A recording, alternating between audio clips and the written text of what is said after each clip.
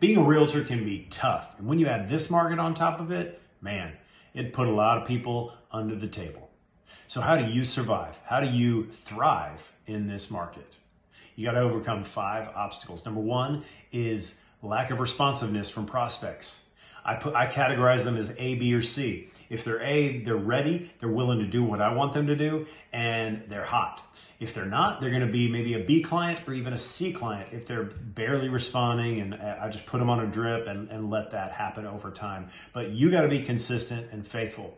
Um, Number two, occasionally you may uh, say something to upset a client. You've got to kind of put that in the five year lens, say, hey, how's this going to affect me in the long run and how's this going to affect my business? and kind of give it some perspective because in the moment the, the, emotions can get hot and high but don't let it affect the long term number three feeling unqualified compared to other agents. Hey, we all like to compare, but I like to tell my kids when you compare, you lose. Don't worry about what other people are doing. You do what you need to do. If you need to get more training, do it. But do what you need to do to feel confident. Do those daily affirmations people do. That's fine. Um, I put my trust in God and let Him speak to me and let Him define who I am. And that makes a big difference for me.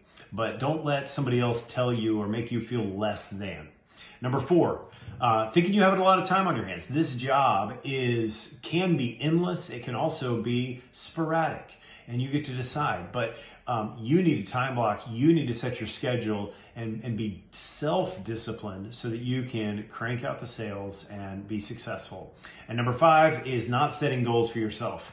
Um, if you don't do this, you're going to be in trouble because you won't have things to aspire for. Make sure they're smart, specific, measurable, attainable, um, realistic, and time bound.